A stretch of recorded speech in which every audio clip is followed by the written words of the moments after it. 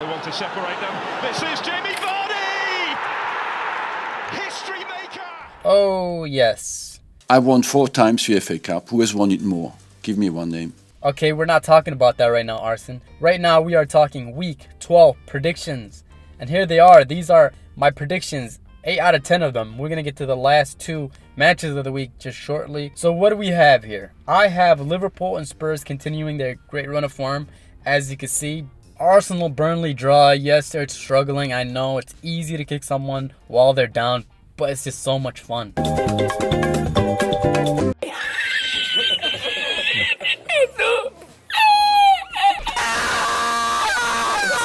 Up here in the corner, we got a five goal thriller Leeds versus West Ham. I just think that Leeds are great going forward, but they leave much to be desired in the back, and that Bowen has been especially impressive for West Ham. So 3 2 makes a lot of sense here.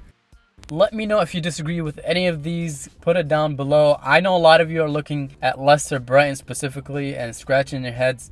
But for me, a draw is very plausible. I mean, Leicester did struggle two weeks in a row versus two relegation sides. And then for Brighton, I think eventually Graham Potter is going to work his magic. He's going to figure it out sooner or later.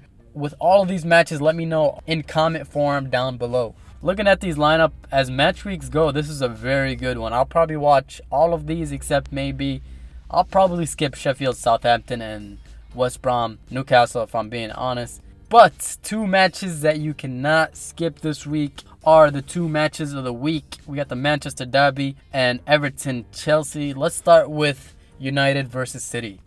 The last six matches between these two, very even. United have won three of the previous four. Very impressive, seeing that as City has been the better club in the previous couple seasons. Now, at the end of this, we're going to find out if Manchester is red or blue. But more exciting, we get to see the two best midfielders in the league, arguably Bruno versus De Bruyne. And there's been a lot of debate but if you ask me, they're two very similar players, uh, very forward thinking, very smart on the ball, long distance shooters, two leaders in their clubs. Let me put it this way if you were a manager and you had to choose between these two, who would you go with? For me, it's going to be Bruno, obviously, because I'm a United supporter and it's sentimental. Tactically, though, I would probably go with De Bruyne, maybe. Who would you sign if you had to choose between these two? Let me know down below. Obviously, we lose in the Champions League. We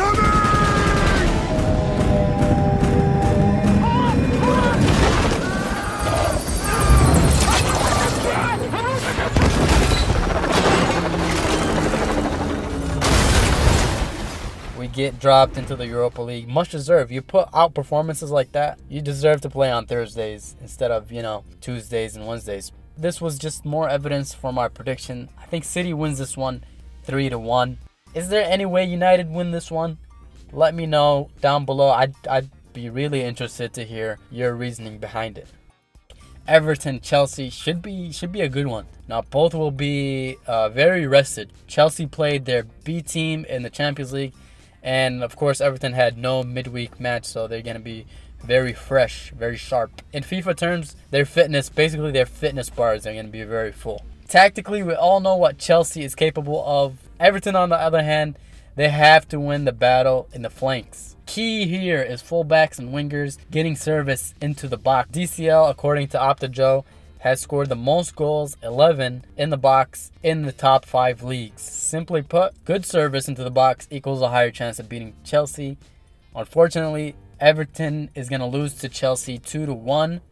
And that's all. That's 10 matches, 10 predictions. Very quickly, I want to shout out my niece and nephew, my two biggest fans, and probably the only people who watch my YouTube videos, to be quite honest.